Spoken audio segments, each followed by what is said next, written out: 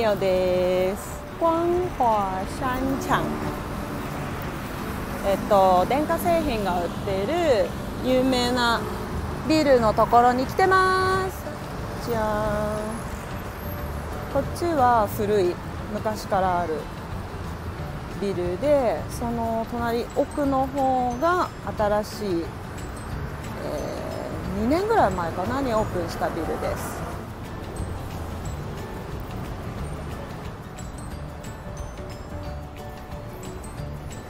ここが新しいビルの方です。じゃあ中に行ってみます。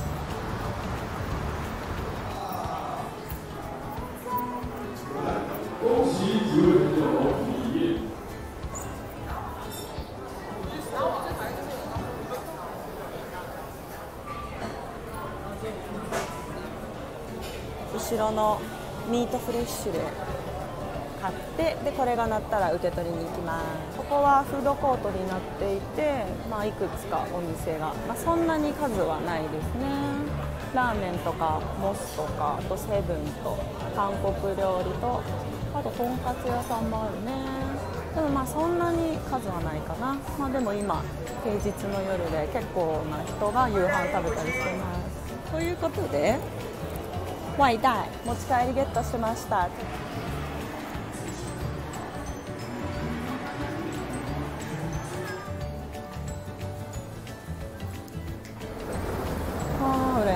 ラブラブ。これね。台湾では普通なんですよ。まあこれ今のマシな方でねもっとみんなエスカレーター乗ったらブチブチブチブチしてますよ。こ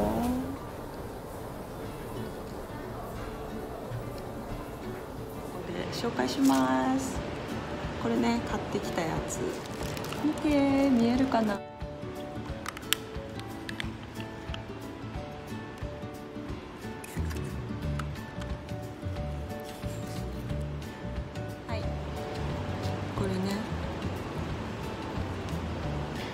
ミートフレッシュでこれなんかちょっと見えないでこれ実はまあこれこれお餅。でこれが戦争ゼリー。香港とかにもある。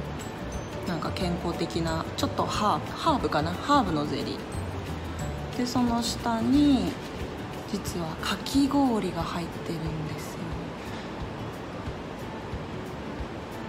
そうちょっとだから最近あまあでも今日も寒いような暑いような感じだからまあでも今ちょっと歩いてきたのでちょっと暑いのでこのかき氷はちょうどいいかな。このかき氷に黒蜜ののかながかかってます。食べます。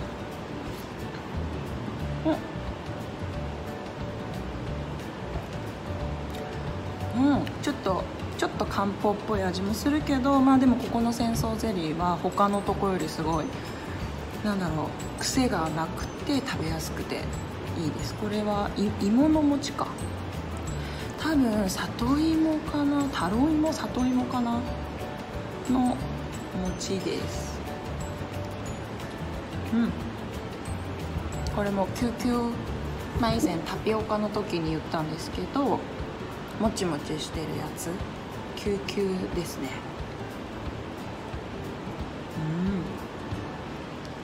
うん。でこのポイントがコーヒーフレッシュ。他のお店でも結構使うんですけどあのコーヒーフレッシュがかかって余計ちょっとコーヒーゼリーみたいな感じもあるしっていうね。これがすごい余計いい味になってると思います。うん。これでこんな大きいこれ大きさわかるかな？ちょっと私の顔も別にちっちゃくないからあれなんですけどこれで、えー、70元、えー、280円ぐらいかな。安い。